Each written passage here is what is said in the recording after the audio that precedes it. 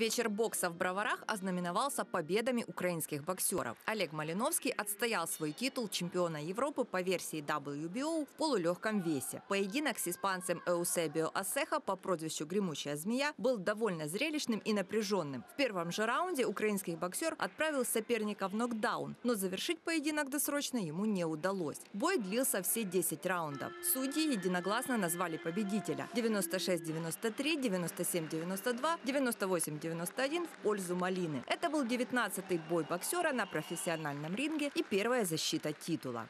Все, в принципе, сделали так, как и планировали. Где-то немножко не получалось, но старались придерживаться, и это действительно дало свой результат. Мы выиграли этот поединок, слава богу. Я всегда настраиваюсь на всю дистанцию поединка, поскольку не обладаю таким очень сильно нокаутирующим ударом, хотя действительно удалось попасть в первом раунде и отправить соперника на настил ринга.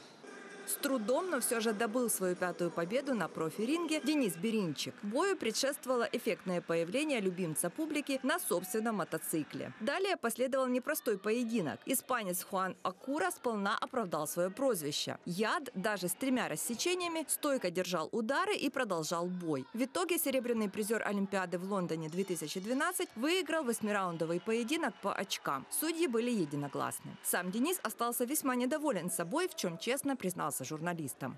Я бы по пятибалльной системе поставил бы себе с 3 там, с натяжкой с плюсом. Ну такая, 3 с плюсом. И недоволен собой. э, Чуть-чуть сорвался. В четвертом раунде уже начал уже менее агрессно проводить бой и подустал, если честно. И уже варьировал события.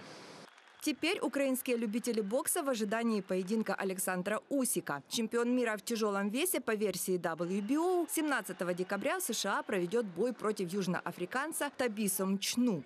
Елена Дидух, Тимофей Сорокин, UATV.